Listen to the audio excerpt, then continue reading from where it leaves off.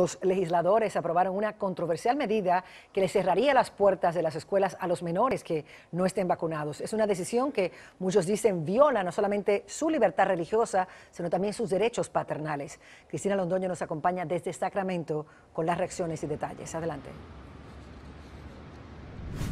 Mari, buenas tardes. Hace poco concluyó una protesta poco concurrida, pero muy conmovedora, encabezada por un niño de seis años y su papá.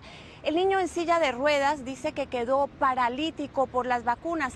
Ellos además están unidos a miles más pidiéndole al gobernador Brown que vete la medida que haría las vacunas obligatorias, diciendo que viola la libertad de los padres de escoger qué hacer con sus hijos.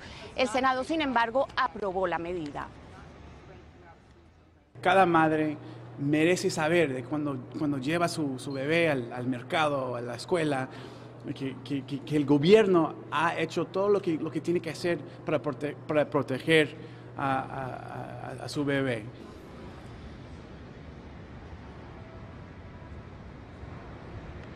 La medida obligaría a que todos los niños que vayan a la escuela se vacunen en California, a no ser que tengan una excusa médica. Esta medida fue presentada luego de un brote de sarampión en Disneylandia. Unas 150 personas se enfermaron, la mayoría no estaban vacunadas. El futuro de esta ley está ahora en manos del gobernador. Mari.